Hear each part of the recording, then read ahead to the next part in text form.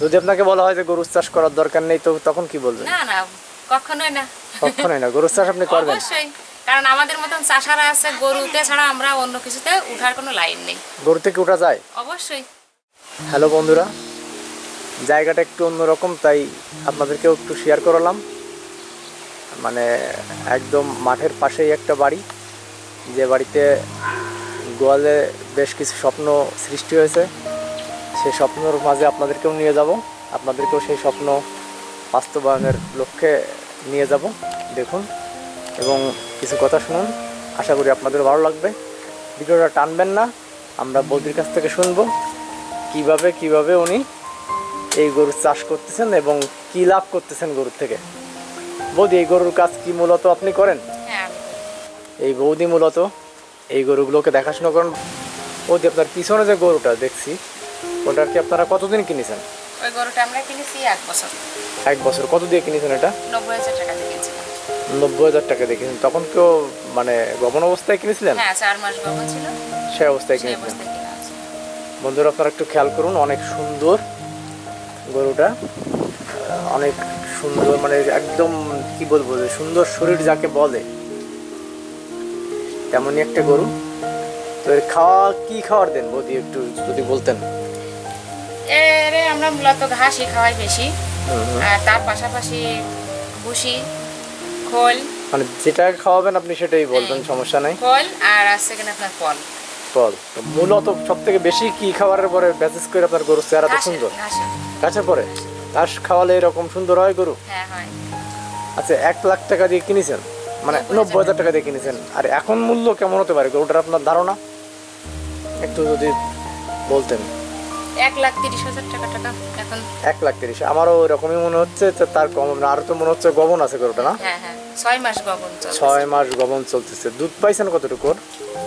আমরা তো সেভাবে দুইনি তবে একবার দুইছি এক ফলন করে আড়াই কেজি তিন কেজি করে পাওয়া আড়াই কেজি তিন কেজি করে পাইছেন। আর আমরা বাসুরে আর এই বাছুরটা রেখা হয়েছেন না? বন্ধুরা আপনারা খেয়াল করুন এক বছরের মাথায় উনি যেহেতু চার মাস আগে চার মাস গমন অবস্থায় কিনেছিলাম তো বাসুরটার দামও তো অনেক হবে এখন। বুঝি কেমন হবে মনে হচ্ছে? তা আপনার ষাট সত্তর তো হবেই। আচ্ছা যাও সত্তর হাজার হ্যাঁ সত্তর হাজার হবে ফ্রিজের একটা বাছুর। তো যাও হোক তাহলে আপনাদের একটা স্বাভাবিক হিসাবে আমরা যেটা পাচ্ছি যে নব্বই হাজার টাকা খরচ করে দেড় বছরে মানে না এক বছর, হ্যাঁ, দেড় বছর। এখন মিলে যেহেতু ছয় মাস হয়েছে দেড় বছরে ওনাদের মূল ক্যাপিটাল এসে দাঁড়িয়েছে। তা প্রায় দুই লাখ প্রায় দুই লাখ প্রায় দুই লাখ। হ্যাঁ, দুই লাখ। মানে নব্বই হাজার টাকায় আরও নব্বই হাজার টাকা নিঃসন্দেহে লাভ। আর লাভটা এই জন্য বলতে পারছি আমরা যেহেতু এনারা সম্পূর্ণ কাঁচা ঘাসের উপর নির্ভরশীল। নাকি বৌদি? হ্যাঁ, ভুল বললাম না তো?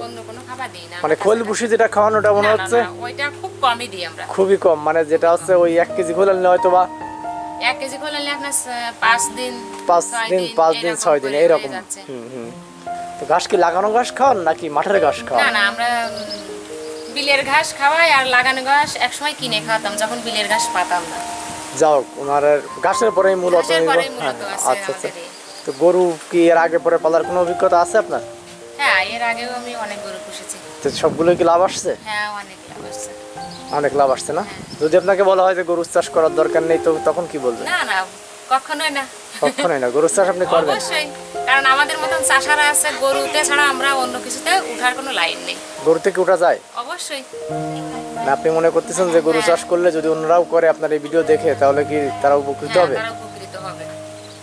আমি মনে করি যে গোয়ালে এক দুটো থেকে তিনটে যদি মানে গাই গরু থাকে তাহলে বছরে আমরা হায়েস্ট দুই থেকে আড়াই লাখ টাকার শুধু বাছুরি বিক্রি করতে পারব। যেগুলো গরু পালিয়েছেন তার ভিতরে একটা ভালো লাভ করেছেন এরকম একটা কিছু বলেন তো? সব ভালো লাভ করেছি। সব হ্যাঁ আমার আমার লাইফে আমি কোনো গরুতেই আজ পর্যন্ত লস করিনি। বাহ। সত্যি কথা এটা। অনেক ভালো লাগল বৌদি। তো বন্ধুরা আপনারা দেখলেন ছোটোখাটো জায়গার মধ্যে দুই একটা গরু চাষ করেও লাভবান হওয়া সম্ভব। বৌদি গরু গরুর থেকে আপনি কি বিশেষ কি করেছেন? গরুর থেকে আমি মানে বিলি সাড়ে চার বিঘে জমি বন্ধ পেয়েছি। এই গোয়ালের গরু বিক্রি করে? হ্যাঁ।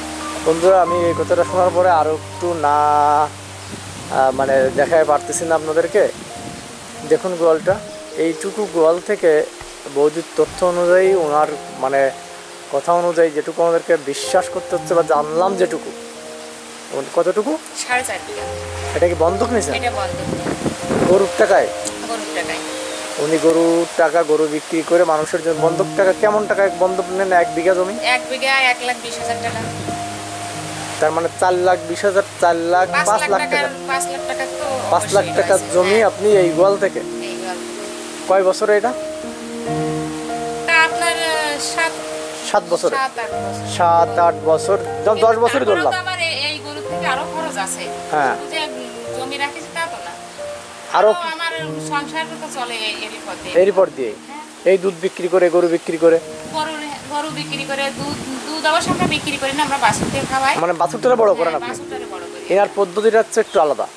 উনি মূলত বাছুরের মানে গরুর যেমনই দুধ হোক না কেন উনি দুধ নিজেরা খাওয়ার জন্য কিছু দহন করি। ওরা দুধ যেটুকু নেন বাড়ি খাওয়ার জন্য আর বাকিটা ওরা বাছুর এখন। বৌদির আর কোনো স্বপ্ন আছে গরু নিয়ে?